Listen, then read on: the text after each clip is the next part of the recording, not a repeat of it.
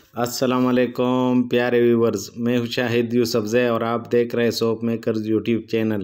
तो प्यारे भाइयों आज मैं एक्सपोस्ट करूँगा कि शाहिद हुसैन जोया का बिज़नेस क्या है और वो क्या करता है। मैं अक्सर लोगों से सुनता आ रहा हूँ कि शाहिद हुसैन जोया ने लोगों को लूटा या उसने लोगों को मामू बनाया। तो अक्सर ग्रुप्स में और मुख्तलिफ़ जगहों में मैं सुनता आ रहा हूँ। तो उसी को एक्सपोज करने के लिए मैं यहाँ पे आया हूँ आज। तो आपको आ, सारा एक्सपोज करूँगा कि वो लोगों को कैसे लूटता है और कैसे लोगों को मामू बनाता है। तो प्यारे व्यूवर्स वीडियो आखिर तक देखें और चलिए शुरू करते हैं। प्यारे व्यूवर्स, ये मैं शाहिद हुसैन जोया के जगह पे आया हूँ। वो आप सामने देख सकते हैं। ये मशीनें पड़े हुए हैं। प्लाडर हैं। साबुन बनाने के लिए प्लाडर हैं। चिप्स बनाने की मशीनरी पड़ी हुई है। ये सामने शाहिद हुसैन जोया की गाड़ियाँ हैं और ये सामने उसका घर है। और ये प्लाडर है। पाँच इंच का प्लाडर है। और ये स्टील वरम में बनाया गया है किसी के लिए आर्डर पे। तो प्यारे व्यूवर्स एक बात, एक हिस्ट्री में आपके साथ थोड़ी सी शेयर करता हूँ। चीन हमसे तीन साल बाद आज़ाद हुआ है। तो चाइना पहले जापान का ग़ुलाम था। तो चाइना में एक बंदा था। तो उसने सोचा कि हम क्यों हमारी इतनी बड़ी आबादी है और हम छोटे से जापान के ग़ुलाम हैं। तो फिर उसने सोचा कि हम ज़्यादा अफ़ीम खाते हैं, नशा करते हैं हम।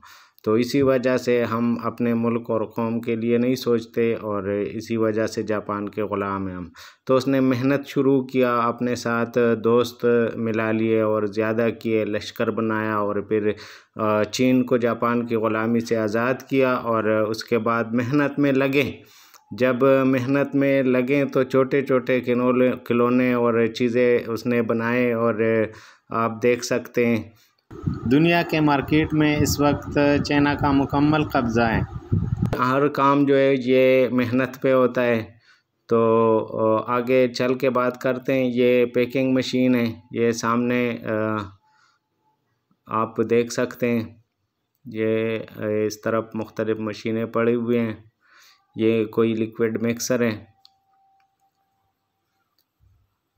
ये लिक्विड मिक्सर है। इसके बाद ये टाफ़ी बनाने वाला मशीन है। ये आप देख सकते हैं कोई मिक्सर है ये भी। ये प्लाउडर है।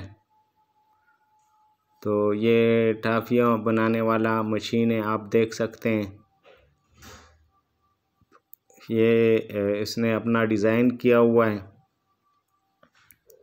और आ, थोड़े से पैसों से लोग इस पर अपना बिज़नेस स्टार्ट करते हैं और अपना काम चला लेते हैं।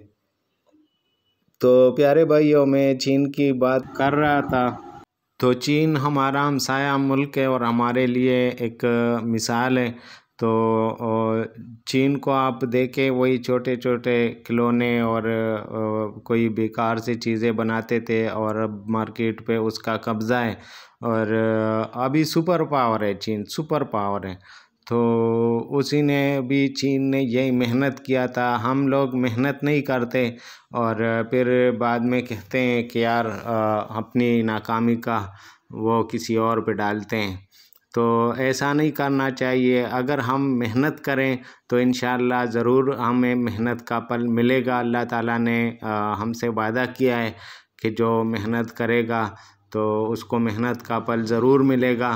तो अगर हम मेहनत करें तो इन हम कुछ सालों में हमारा पाकिस्तान एक अज़ीम मुल्क होगा जिस तरह के चैना है।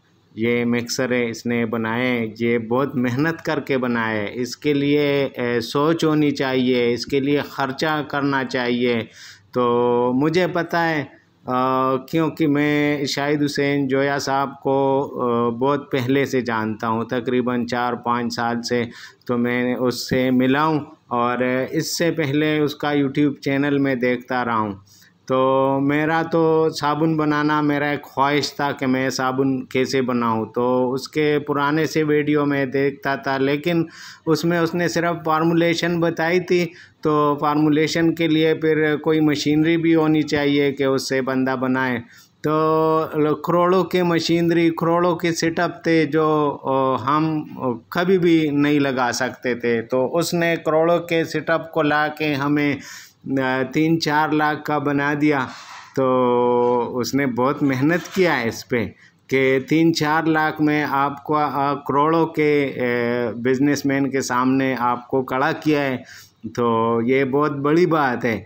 और ये सिर्फ़ मुझे पता है कि उसने कितना नुकसान किया है, करोड़ों का उसका नुकसान हुआ है इस काम में कि ये मशीन बनाओ, वो नाकाम हो जाए, फिर दूसरा मशीन बनाओ, वो नाकाम हो जाए। ये कामयाब करना कोई हलवा नहीं है कि बंदा आसानी से खाए।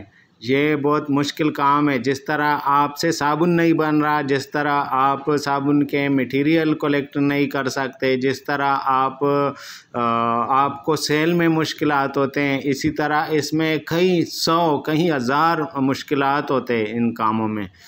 तो वो पाकिस्तान के लिए बहुत कुछ कर रहा है सिर्फ़ पाकिस्तान के लिए नहीं बल्कि यूट्यूब के रास्ते से आ, सारी दुनिया के लिए कर रहा है। तो पाकिस्तान के लिए वो एक ख़ास नेमत है।